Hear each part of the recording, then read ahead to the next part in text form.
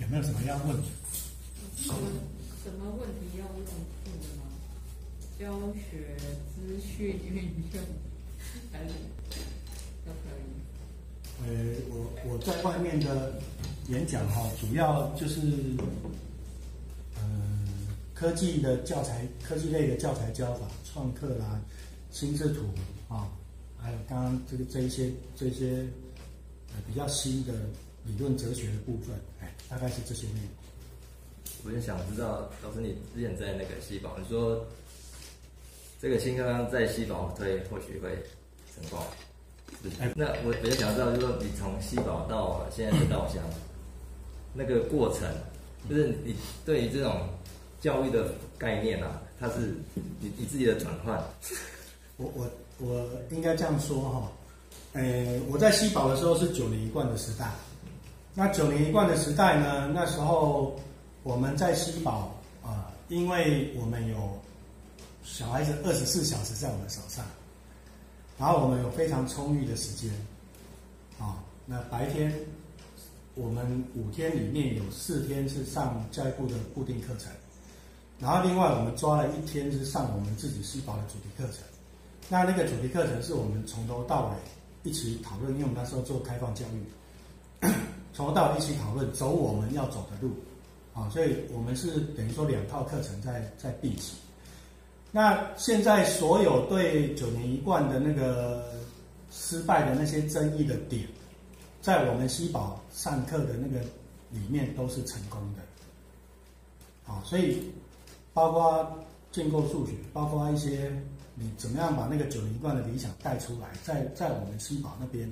都是做得起来，所以代表说这个政策的东西，这个九年一贯这东西是好东西，理想是好东西，但是实施就要看各校，啊，所以你有能力的学校其实是可以做得起来的。那像现在十二年一贯也是一样，呃，理想很丰满，现实很骨感。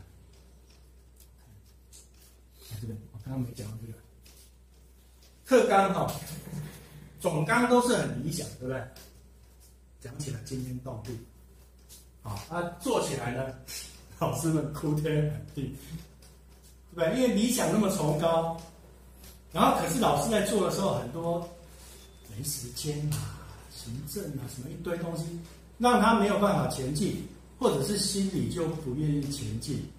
我就现在教就现在这样教就很好了，干嘛要去弄那些新的东西？那、新的东西一定好吗？我觉得我这样的传统的教法更可以，呃，把学生教会这样哈、成绩又更好之类的。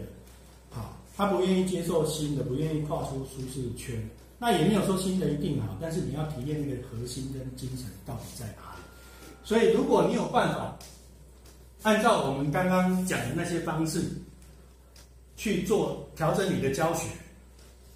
这个核九年十二年一贯的核心是其实那个很美好的部分是有可能达成。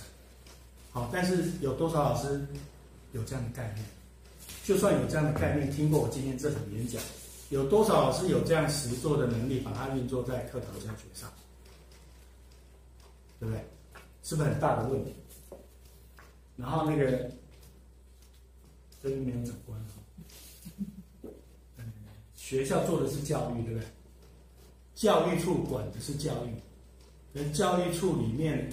管各位业务、管各位学校发展的是公务员，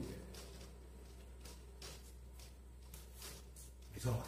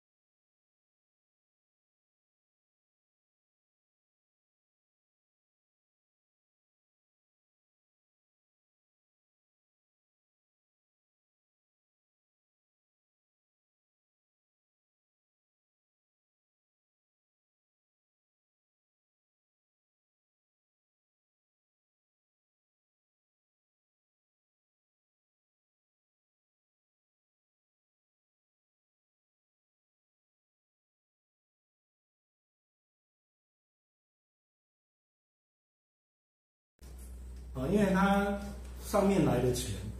他就是最简单的方法，他就是买一堆东西，拍照、结案、发新闻稿，他就做完公务员该做的事。但是真正重要的，你是教育，